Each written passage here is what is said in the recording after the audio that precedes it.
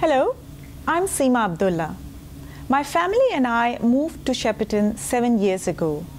I'm proud to call Shepparton my home. The main reason I'm running for council is that I love Greater Shepparton and I believe in all the positives that this region has to offer. We can do so much more to promote the positive aspects of Greater Shepparton.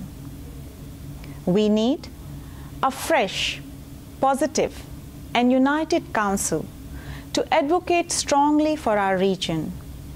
Some of the issues that I find important to address include a trust based relationship between the community and the council, good governance, and stimulating business in Shepparton's CBD and helping it to develop as a commercially, culturally, socially attractive and safe place.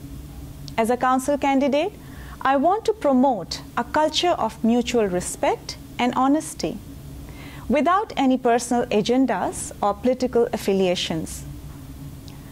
A fresh approach, professional know how, experience of decision making process, and enthusiasm to work hard for and with the community are some key attributes needed at the Council, and those that I can confidently offer. We need a council that consults with the community proactively, not as an act of nicety, but as a technical necessity right from the start. This approach is a must to ensure good governance and to deliver the best outcomes for our community. Also, we need more women in local government. For the past four years, we have only had two out of seven. Come on, Greater Shepparton, we can do better than that. Competent, caring, committed. Vote one, Seema for Greater Shep.